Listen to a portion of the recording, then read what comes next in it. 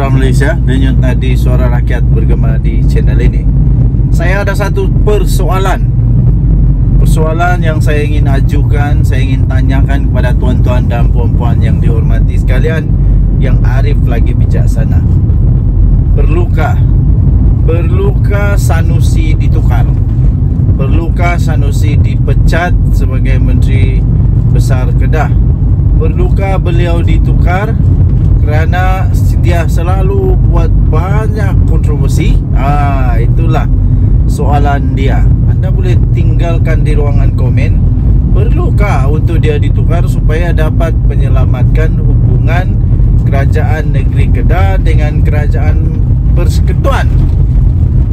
Perlukah dia ditukar untuk menyelamatkan image PAS supaya menjadi lebih molek, lebih baik, lebih dihormati perlukah?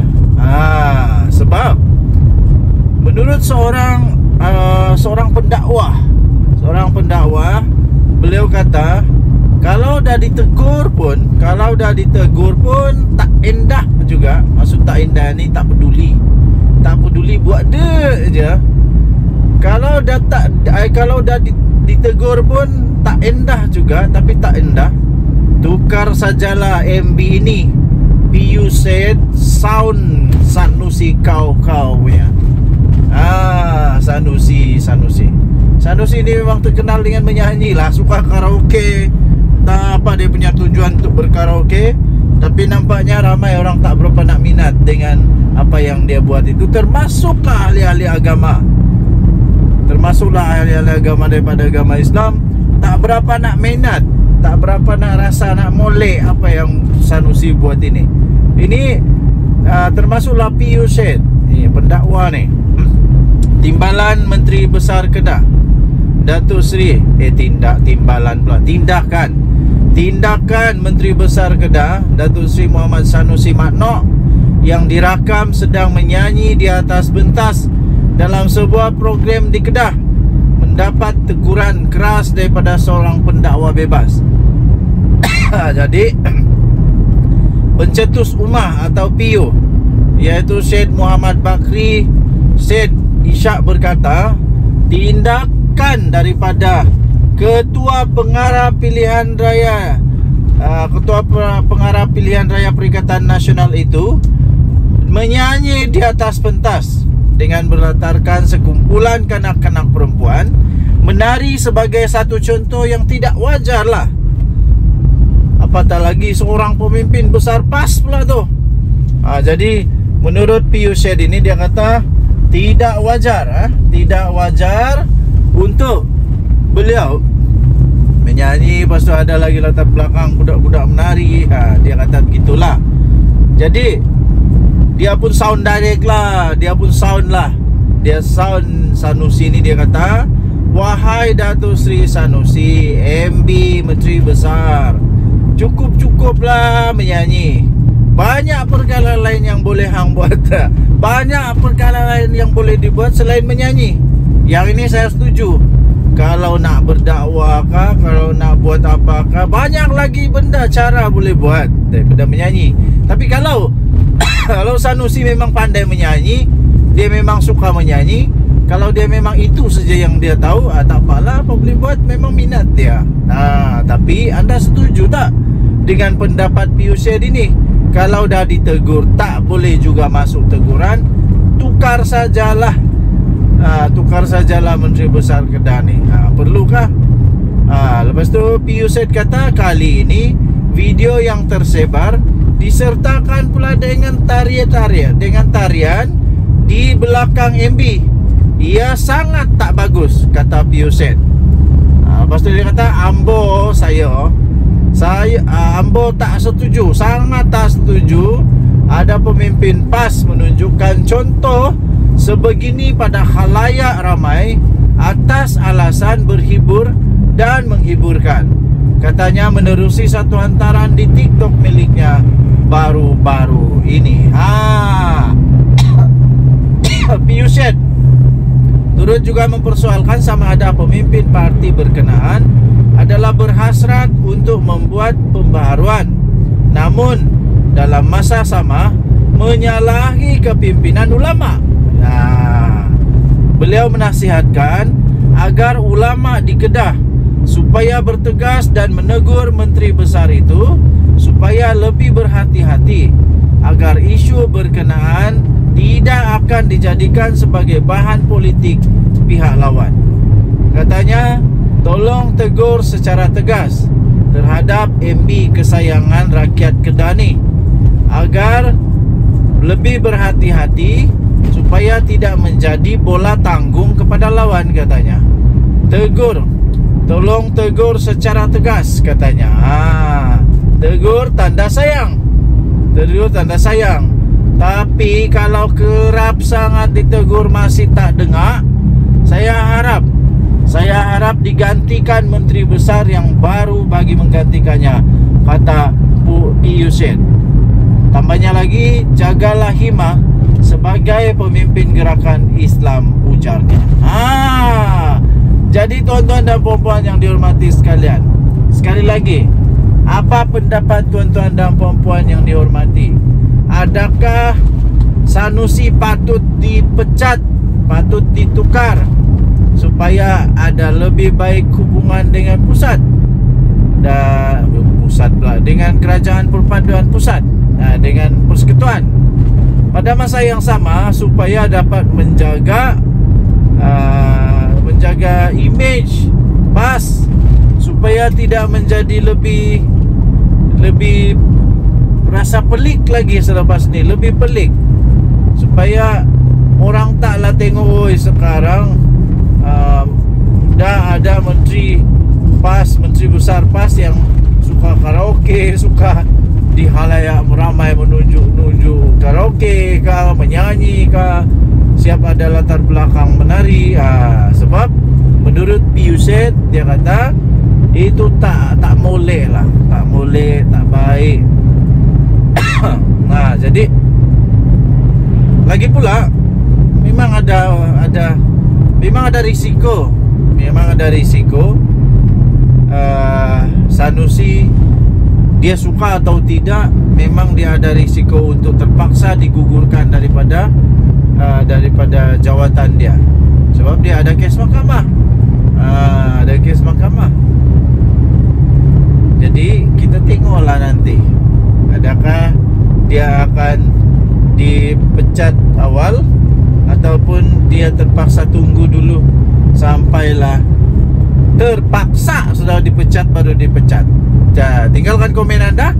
Denyut Nadi Suara Rakyat bergema di channel ini.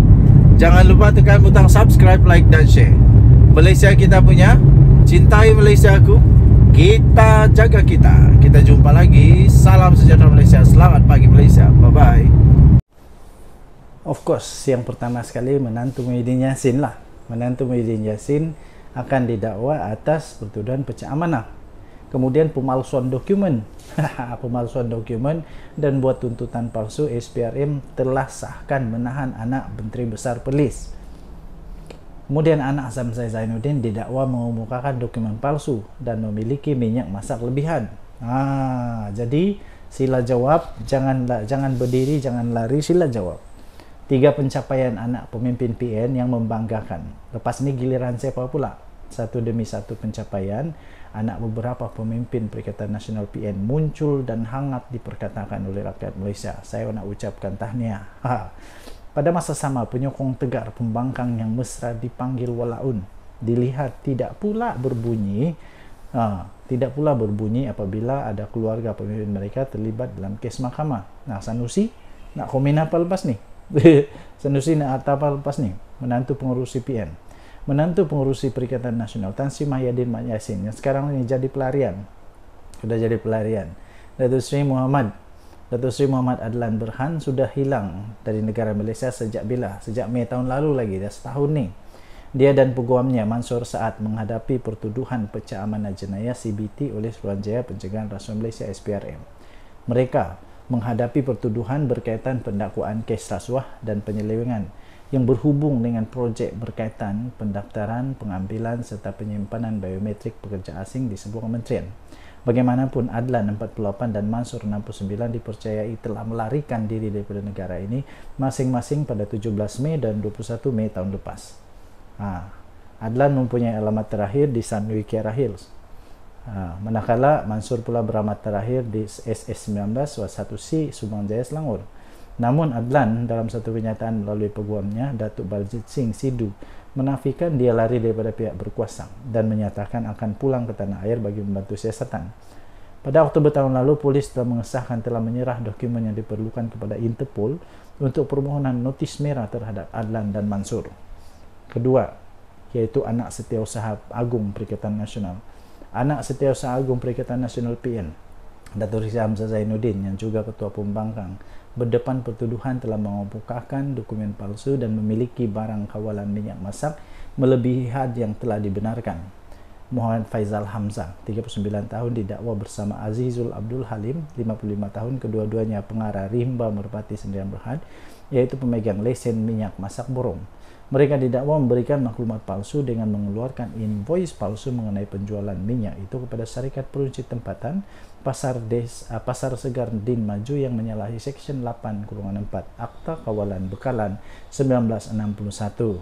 Berikutan itu mereka didakwa mengikut Seksyen 8 kurungan 4 kurungan B Akta Kawalan Bekalan 1961 yang boleh dihukum di bawah Seksyen 22 kurungan 2 Akta yang sama. Tertuduh selaku pemegang lesen borong juga didapati melanggar Peraturan 9 kurungan 1 Peraturan Kawalan Bekalan 1974 iaitu memiliki barang kawalan berjadual jenis minyak masak melebihi 50 tan metrik. Ha, sabit kesalahan boleh didenda maksimum 1 juta. Hui, maksimum 1 juta ringgit Malaysia dan penjara tidak melebihi 3 tahun atau kedua-duanya. Bagi kesalahan kali kedua dan seterusnya, boleh didenda maksimum 3 juta atau penjara maksimum 5 tahun atau kedua-duanya. Nombor 3 yang baru masuk dalam list. Tahniah diucapkanlah. Yang baru masuk dalam list ialah anak Menteri Besar Perlis. Paling terbaru dan menggemparkan ialah kes yang melibatkan anak kepada Menteri Besar Perlis Muhammad Syukri Ramli. Anak lelaki pengerusi Perikatan Nasional Perlis itu antara enam individu yang direman oleh SPRM. Pada hari ini, mereka direman bagi membantu siasatan pemalsuan dokumen tuntutan palsu berjumlah RM600,000. Dia dan lima suspek itu ditahan dikehendaki membantu siasatan berkaitan pelaksanaan projek pembangunan prasarana seperti membaik pulih, menyelenggara, pembekalan dan perkhidmatan di seluruh Perlis sejak tahun 2022. Untuk rekod, Muhammad Syukri yang juga Pesuruhjaya PAS Perlis telah mengangkat sumpah sebagai Menteri Besar Perlis yang ke-8 pada 22 November 2022. Hui, belum sampai 2 tahun. Hmm. Muhammad Syukri 63 tahun menjadi Menteri Besar pertama dari gabungan PN yang mentadbir Perlis buat julung kalinya sejak merdeka. Gabungan PN menang 14 daripada 15 kerusi Dewan Undangan Negeri dalam pilihan raya umum ke-15 pada 2022 yang lalu. Dan ia diucapkan kepada semua uh, anak-anak yang hebat ini. Tahniah diucapkan kepada pemimpin-pemimpin Perikatan Nasional yang berjaya, oh, berjaya, berjaya menggegarkan seluruh Malaysia dengan keadaan-keadaan yang mantap begini inilah. Uh, apa-apa pun kita di Malaysia. Ha, ingat eh apa-apa pun kita di Malaysia kita harus tahu selagi mahkamah kata belum bersalah selagi belum ada keputusan daripada mahkamah belum lagi bersalah lah itu. Jadi sampai sekarang belum ada keputusan dari mahkamah sama ada mereka bersalah atau tidak. Jadi jangan dulu kita buat uh, spekulasi kononnya mereka semua sudah bersalah apakah tidak. Belum lagi ya. Tapi yang pasti SPRM sudah tangkap anak menteri besar Perlis Kemudian anak Hamzah Zainuddin sudah didakwa, kemudian anak menantu, menantu kepada um, Muhyiddin Yassin mau didakwa oleh SPRM, didakwa oleh kerajaan, didakwa oleh mahkamah lah, mau didakwa oleh mahkamah. Tetapi apa? Dia melarikan diri dan dia kata akan balik sampai sekarang tak balik-balik, sudah dapat sudah diberikan dokumen-dokumen untuk memohon kepada Interpol untuk jadikan mereka notis merah. Hmm. Jadi sekarang bertambah daripada bising-bising tentang hal lain. Selesaikan dulu masalah ini ya. Dan nanti suara rakyat bergema di channel ini. Jangan lupa untuk tekan butang subscribe like dan share Malaysia kita punya. Cinta Malaysia kita jaga kita. Bye bye